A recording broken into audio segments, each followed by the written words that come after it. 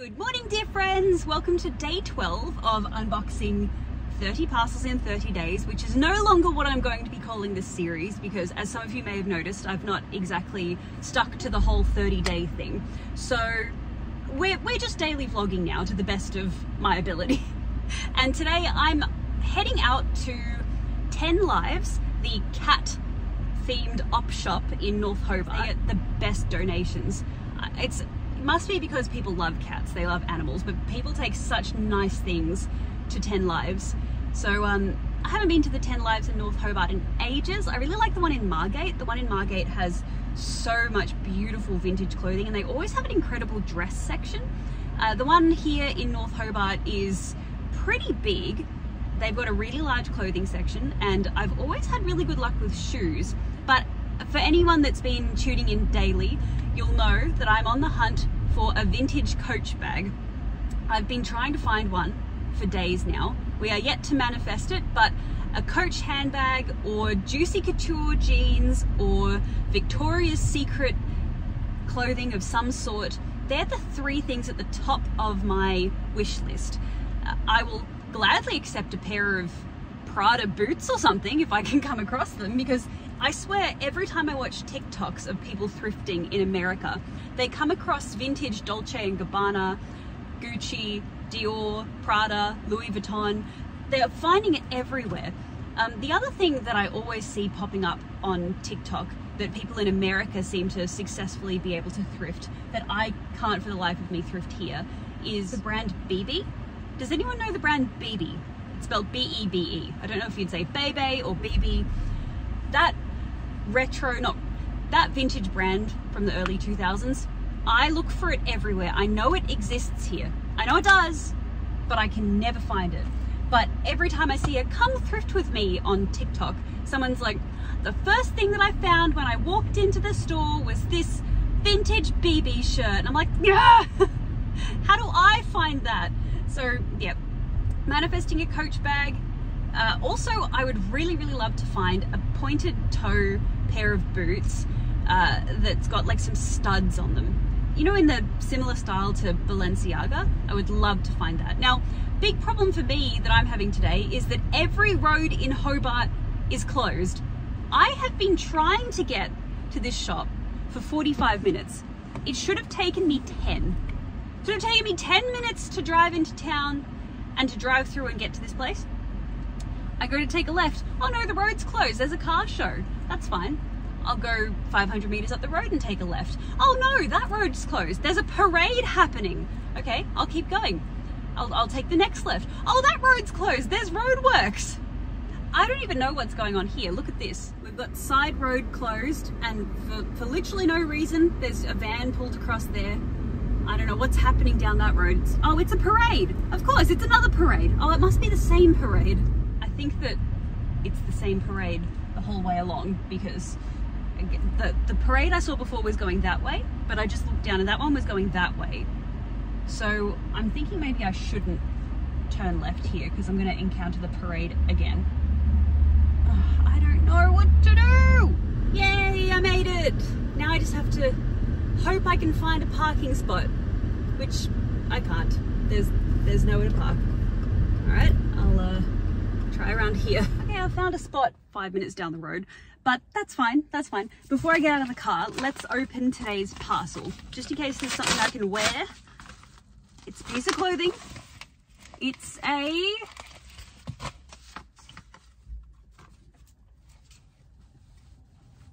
Oh, oh, cute. It's a little uh, lace up corset kind of thing.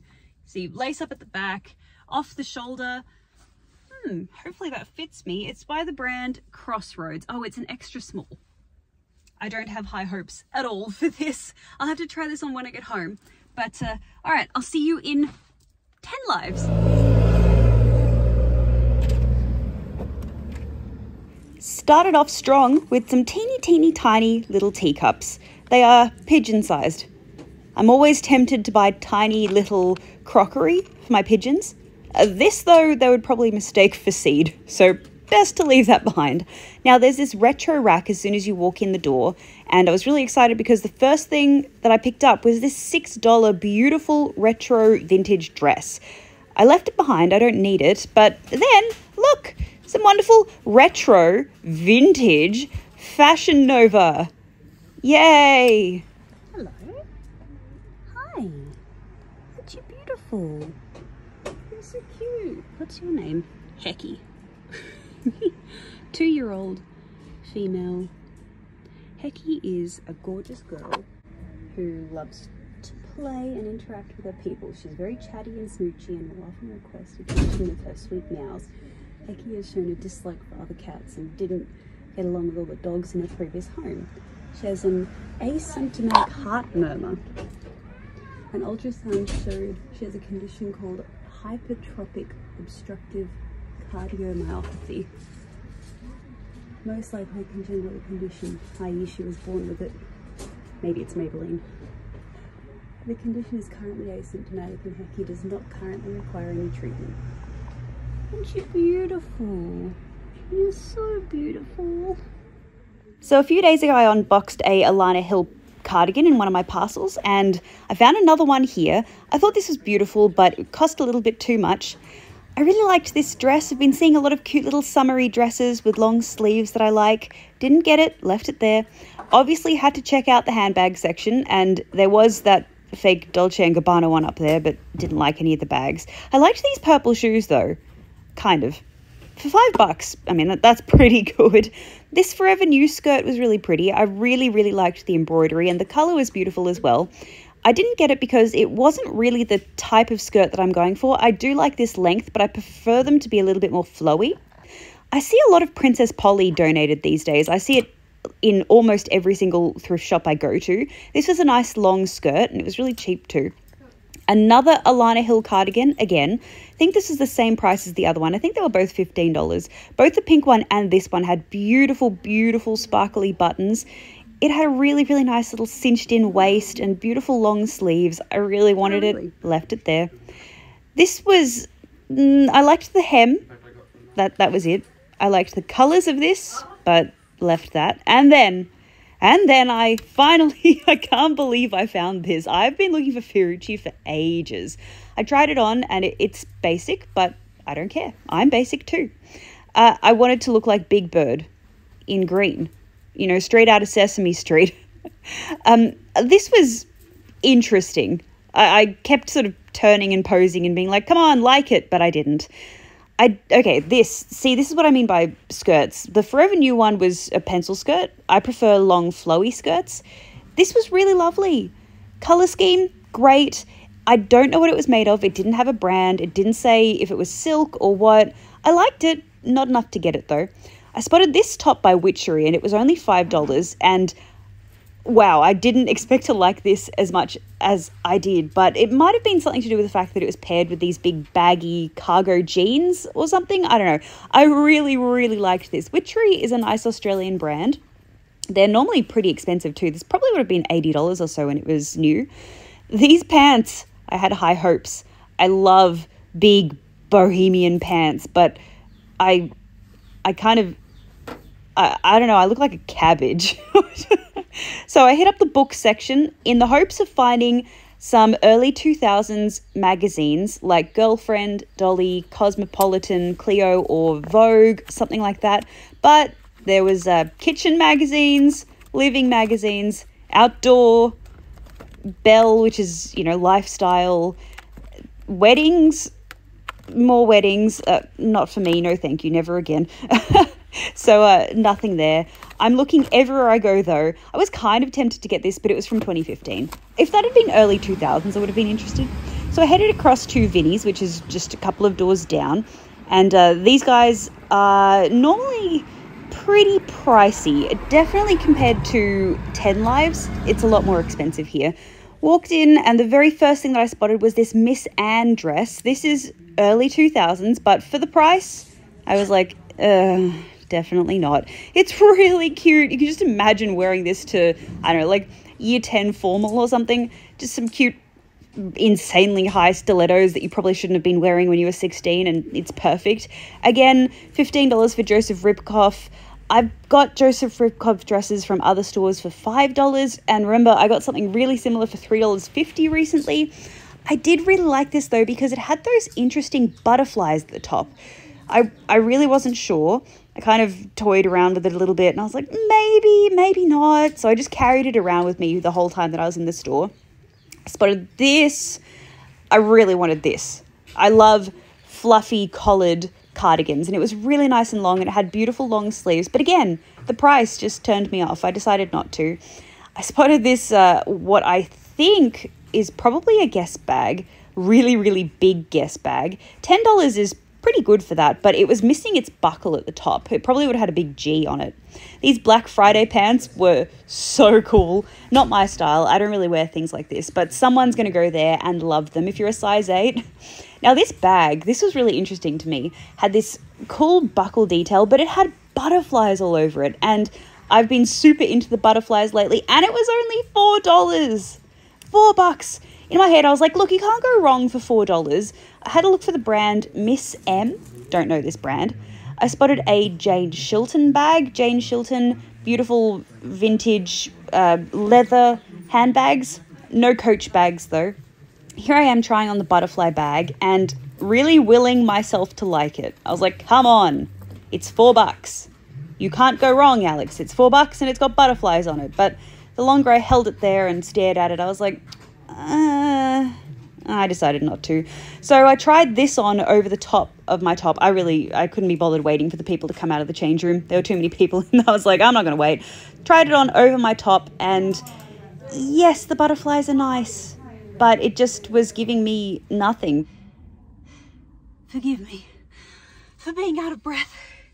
It's really hot, and I parked quite away from the shop. So, didn't get anything at Vinnie's but from Just Cats, I did get the little halter neck top because I really liked how this looked with the jeans, the big baggy jeans. And, sorry, the Fiorucci top. So I suppose you're probably wondering why I was making such a big deal out of this. This brand, iconic, iconic vintage brand. I have been looking for pieces from Fiorucci for so long, like years, every time I go thrifting. Look, look at this. And also it is 50% wool, 50% acrylic. So it's a, a little wool sweater. I know it's a basic thing, but it is the beginning of my Fiorucci collection. You can buy it online if you look hard enough on Depop and eBay, etc. Except it's always really, really expensive. So for $6, bargain. Now I'm going to head off to the South Hobart Tip Shop and I'm also going to see a friend for lunch at a cafe called Bear With Me, which is so good. It's such a nice little cafe. They make really interesting, quirky food. So I'll see you guys there. Holy shit. Oh my God. I don't know what this is. There's a market happening here and it's full of clothing. I, I am taking a slight detour. Oh my God, the entire market is all clothing. What on earth? Okay, um, find of the day. so I wandered on in and was immediately struck by overwhelming social anxiety. There were way too many people here for me. Uh, too many people, not enough chickens, wow, not enough pigeons. I really wanted to be the sort of person that could just rock up to a flea market and, you know, casually stroll around in the sun. But uh, uh, I was literally like, don't make eye contact with anyone. I don't know. I'm so bad out in public. I just, I'm useless. So I'm just going to ramble on. I'm just going to do this little voiceover for you and we can have a look at the things that I spotted together.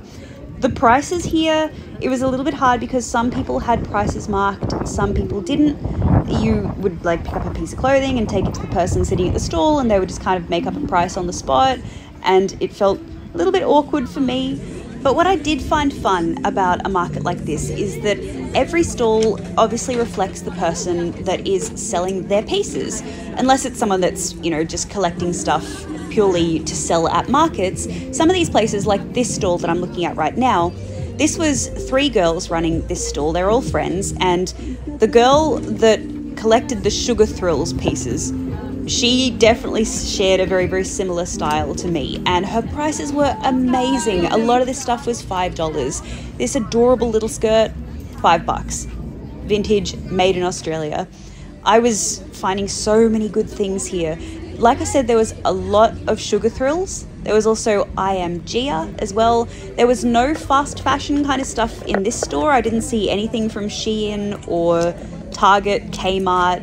Uh, there was a lot of that sort of stuff in other stalls, but here, a lot of it, like this thing that I'm struggling with right now, and when I say I'm struggling, I'm like, I'm really struggling.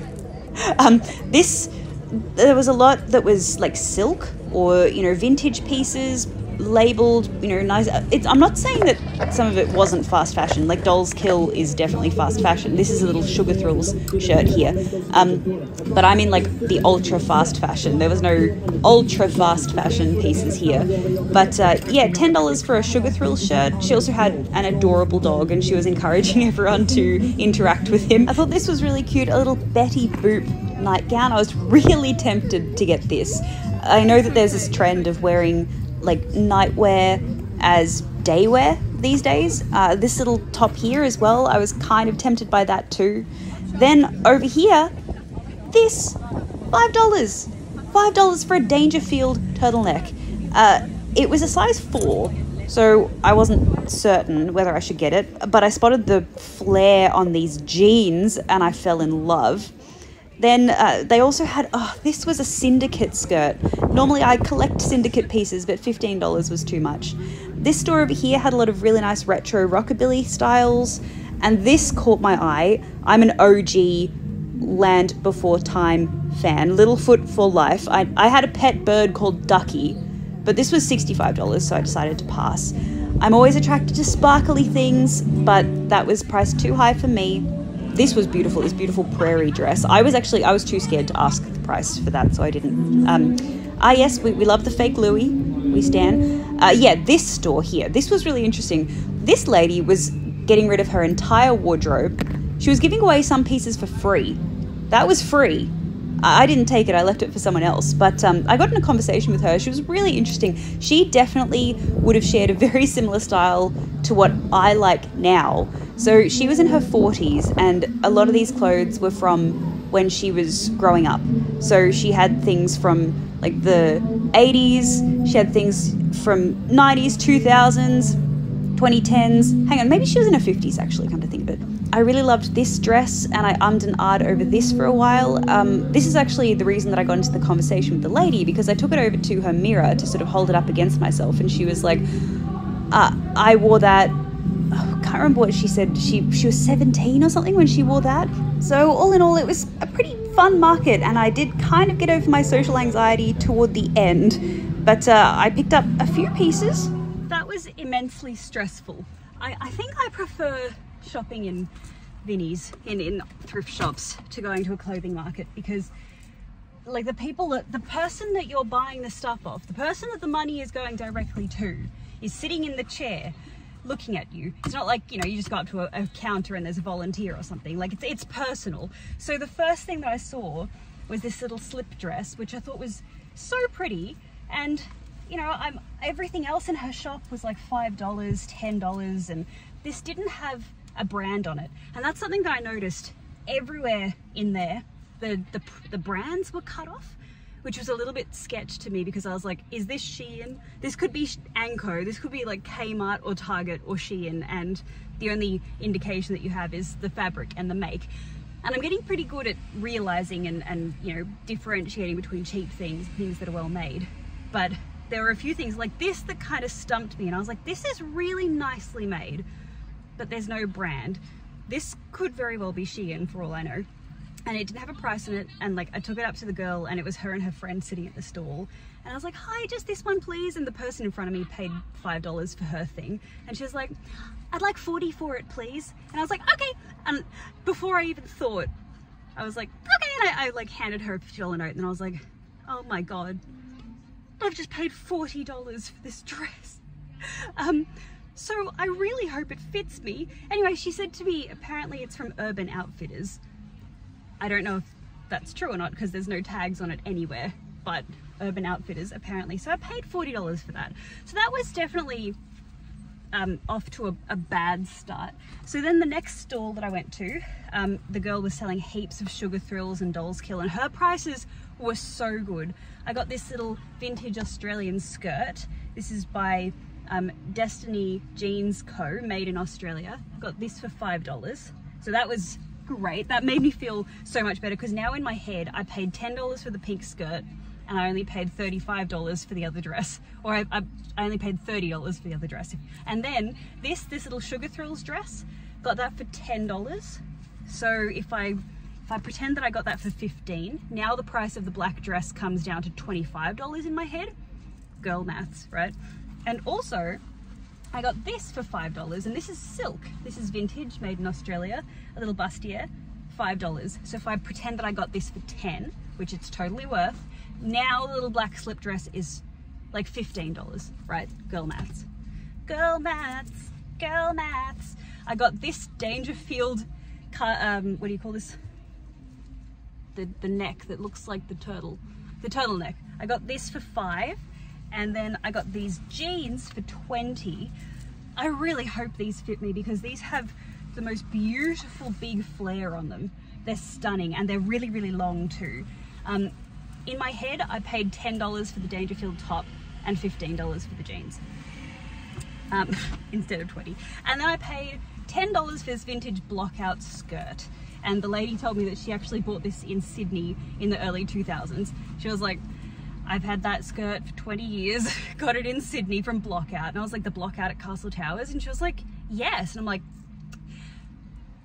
bought plenty of things there in my day. Not really, not really plenty of things because it was too expensive. I think I bought two things from there in my entire life. But you know what? I went in there every single weekend with my friend.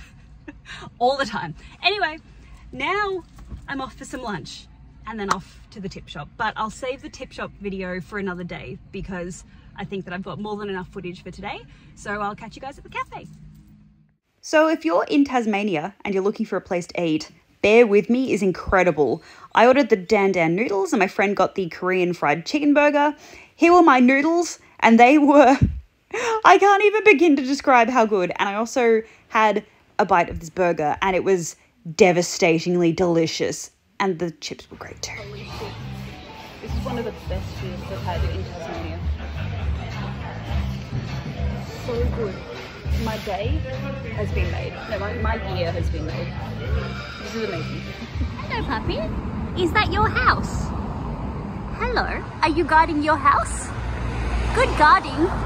You're so cute. Hi ho, hi ho. Off to the tip shop I go.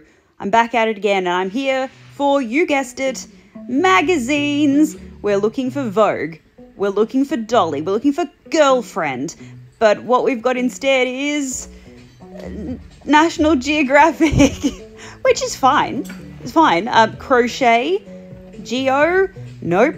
Uh, we've got oh cycling, yeah, wonderful. Just what I need. Why are there so many cycling magazines in these places?